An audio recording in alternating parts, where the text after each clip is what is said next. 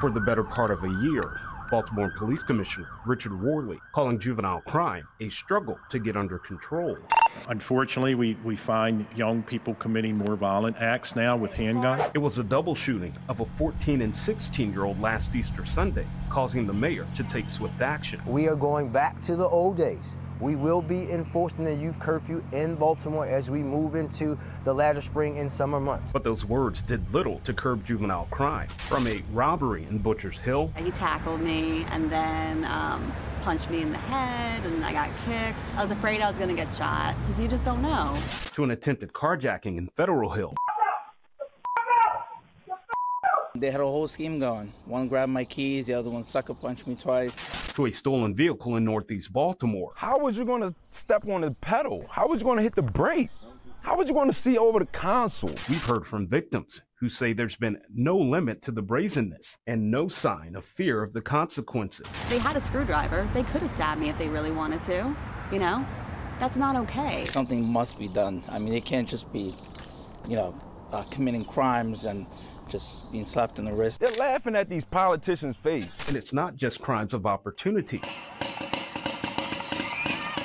Last September, a 12 year old was shot outside of a Dunbar High School football game. Police later arresting a 15 year old one month later in October. At 0750 hours this morning, there was a call for service in reference to a shooting at Carver High School. Two 15 year olds were shot during an argument, as well as a 16 year old innocent bystander before the first bell rang. Police say the two 15 year olds were the shooters. And in December, Fox 45 News is following breaking news out of Carver Votech right now, where we understand a student and teacher were stabbed. Police arresting another student in relation to that stabbing. They say happened during an argument while class was in session. Now, Fox 45 has also investigated gaps in GPS monitoring for juvenile offenders. At least two juvenile suspects in the Brooklyn Day mass shooting, the unnamed 14-year-old and 18-year-old Tristan Jackson, were reportedly wearing ankle monitors and under DJS supervision at the time of the shooting.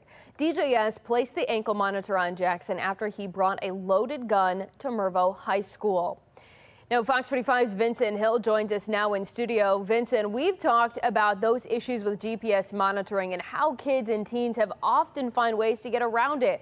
We've also heard from parents about that as well. What have you heard? Yeah, Mackenzie, I spoke with a mom whose son was charged with a robbery near Morgan State, and you also talked to a mom whose daughter was accused of stealing cars, both saying home detention did nothing to keep their kids out of trouble. I called the probation parole office, asked them, can I pay them to put him on the back? He violated three times, but nobody in the system knew. I had to let his PO know. When she came home, she went out and stole the car that night and been getting arrested since on home detention. On home detention, they still won't do nothing. They won't violate her. Now, Vince, do we know how many juveniles have been charged with murder this year? Well, Mackenzie, the short answer is no. According to the state's attorney's office, most of those cases go directly to the adult system, so they actually have to get that data from another division in that office. But last week, you may recall, a 15 year old turned himself in for the shooting death of 14 year old Jasper Davis at the Mondawmin Metro Station. Yeah, that's right. I remember that. Vince, thank you so much for joining us. We'll be My sure pleasure. to keep up with all of these stories.